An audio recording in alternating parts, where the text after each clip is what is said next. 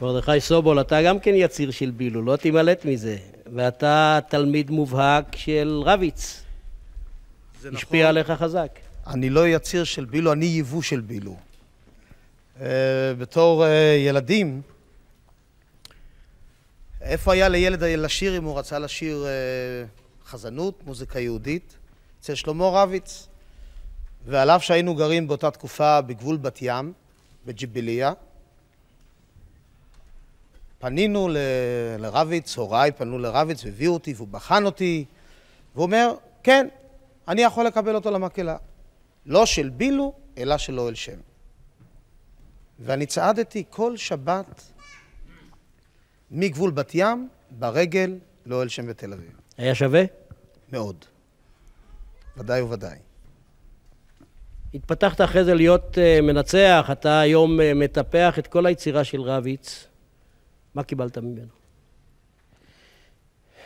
בואו נזכור, קודם כל כשמדברים על רביץ, אתם מכירים את אה, רביץ הבילוי. אבל רביץ מתחיל את הקריירה שלו, וכבר הזכרת זאת, עוד ברוסיה.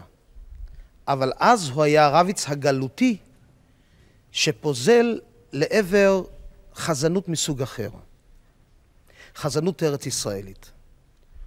הוא נותן גט לגולה ועולה לארץ, מתקבל לבית הכנסת הגדול בתל אביב, ושם הוא מניח תשתית למקהלה נהדרת. מי שמע בזמנים ההם, מי ראה בזמנים ההם, בארץ ישראל הדלה והענייה, מקהלה בת 70 נפשות, ילדים ומבוגרים.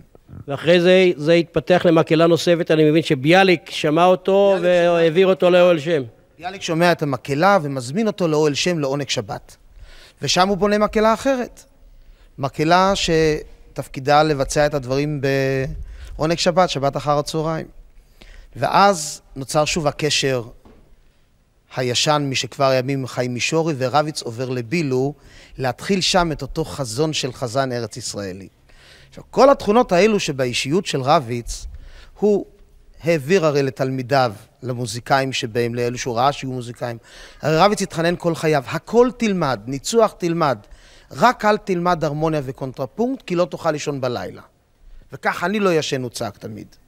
אז ברשותך באמת, אולי נשמע את יצירתו של רביץ, ואם אפשר, חבר'ה, תצטרפו אלינו. בבקשה.